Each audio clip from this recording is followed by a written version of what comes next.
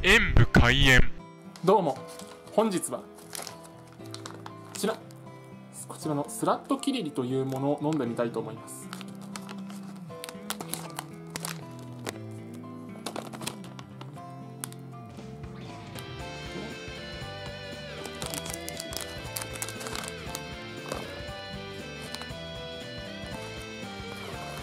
こちらを1日3粒が目安のようですでは飲んでみます。えーと、水水。用意悪いですね。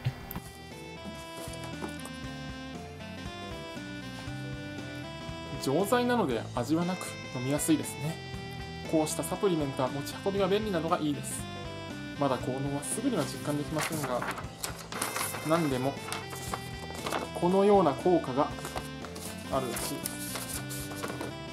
さらにこれと合わせてやるこんなものや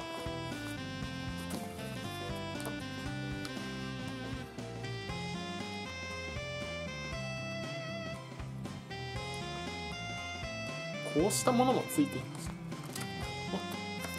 こちらが中身の成分中に入っている成分もののようですね。